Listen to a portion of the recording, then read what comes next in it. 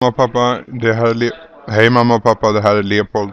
Jag kommer fram till Berlin och eh, allting går bra hittills. Incheckning gick bra och eh, flyg gick bra. Allting har gått strålande hittills. Eh, det var det enda som var är lite problem med internet fram och tillbaks och det är därför jag väljer att skicka det här Youtube-klippet istället för att ringa upp. Jag är inte helt hundra på hur stabilt internet är för tillfället. Eh, vad mer kan jag säga? Jag saknar er två. Det är... Maten här den är helt okej. Okay. Jag ska se om vi kan få en liten bild på det bara. Oh.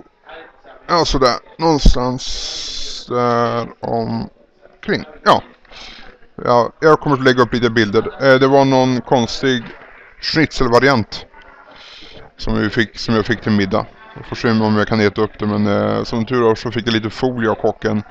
Så jag kan ta in mig allt eftersom. Eh, vad mer? Flyget var inte alltför obekvämt faktiskt. Och som många en del säger att om man tar bort service-delen så blir det billigare och eh, för sådana korta flygningar så är det inga problem. Så ge nu mamma en kram och visa henne på storbilds-tvn.